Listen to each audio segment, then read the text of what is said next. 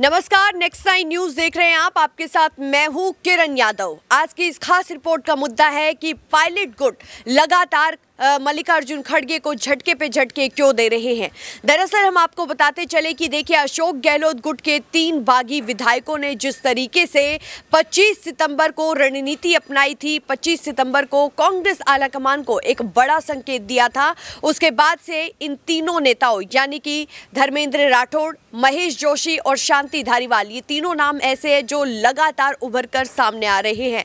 और सचिन पायलट के साथ साथ सचिन पायलट गुट के भी जितने भी विधायक विधायक है, वो लगातार यही मांग कर रहे हैं कांग्रेस अध्यक्ष मल्लिकार्जुन खड़गे से कि उन तीनों ही विधायकों पर, उन तीनों ही नेताओं पर जल्द से जल्द कार्रवाई की जाए।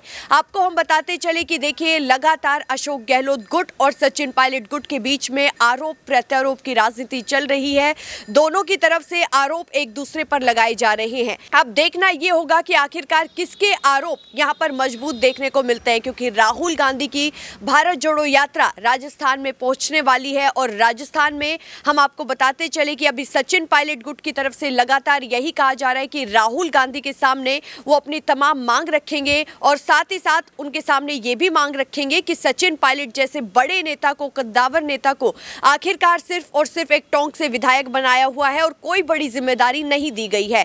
तो लगातार सचिन पायलट गुट के जितने भी विधायक हैं, उनकी यही मांग है। और देखिए, लगातार सचिन पायलट भी अशोक गहलोत पर निशाने साध रहे हैं। साथ ही साथ अशोक गहलोत की तुलना सचिन पायलट ने गुलाम नबी आज़ाद के साथ भी की, क्योंकि गुलाम नबी आज़ाद की भी तारीफ़ एक समय में प्रधानमंत्री नरेंद्र मोदी ने की थी और अब यहाँ पर प्रधानमंत्री नरेंद्र मोदी ने तारीफ़ कर दी अशोक गहलोत की।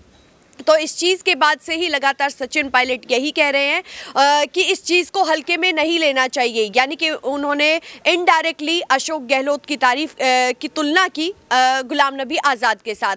अब देखना ये होगा कि आखिरकार अशोक गहलोत की तरफ़ से क्या कुछ बयान दिए जाते हैं। अशोक गहलोत आखिरकार इस बयान पर ए, जो सचिन पायलट ने दिया है उस पर चुप्पी अपनी क्यों साधे हुए हैं वो देखना दिलचस्प होगा। फ़िलहाल के लिए इस रिपोर्ट में बस इतना ही।